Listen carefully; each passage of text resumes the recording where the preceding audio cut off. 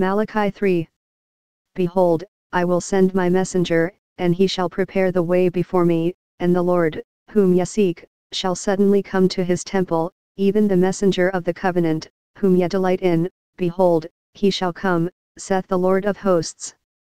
But who may abide the day of his coming? And who shall stand when he appeareth? For he is like a refiner's fire, and like fuller's soap.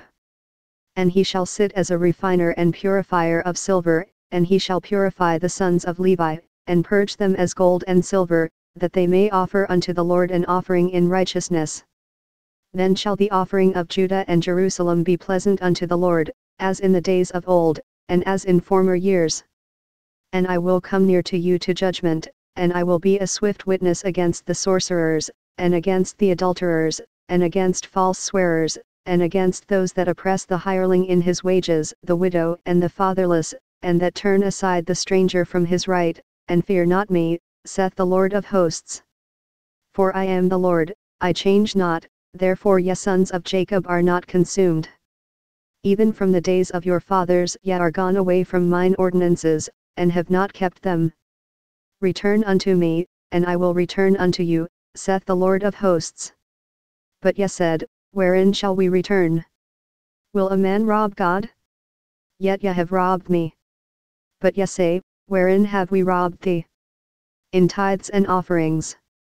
Ye are cursed with a curse, for ye have robbed me, even this whole nation. Bring ye all the tithes into the storehouse, that there may be meat in mine house, and prove me now herewith, saith the Lord of hosts, if I will not open you the windows of heaven, and pour you out a blessing, that there shall not be room enough to receive it. And I will rebuke the devourer for your sakes, and he shall not destroy the fruits of your ground, neither shall your vine cast her fruit before the time in the field, saith the Lord of hosts and all nations shall call you blessed, for ye shall be a delightsome land, saith the Lord of hosts. Your words have been stout against me, saith the Lord. Yet ye say, What have we spoken so much against thee? Ye have said, It is vain to serve God, and what profit is it that we have kept his ordinance, and that we have walked mournfully before the Lord of hosts? And now we call the proud happy, yea, they that work wickedness are set up, yea, they that tempt God are even delivered. Then they that feared the Lord spake often one to another, and the Lord hearkened, and heard it, and a book of remembrance was written before him for them that feared the Lord, and that thought upon his name. And they shall be mine, saith the Lord of hosts, in that day when I make up my jewels, and I will spare them, as a man spareth his own son that serveth him.